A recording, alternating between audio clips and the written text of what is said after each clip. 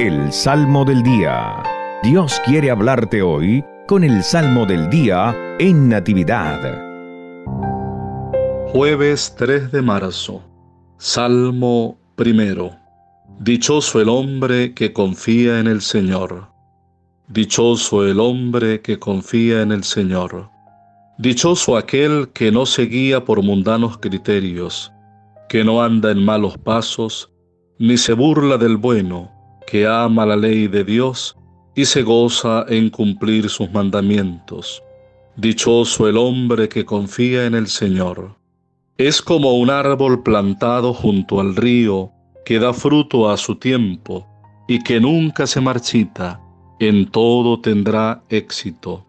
Dichoso el hombre que confía en el Señor. En cambio, los malvados serán como la paja barrida por el viento porque el Señor protege el camino del justo y al malo sus caminos acaban por perderlo. Dichoso el hombre que confía en el Señor.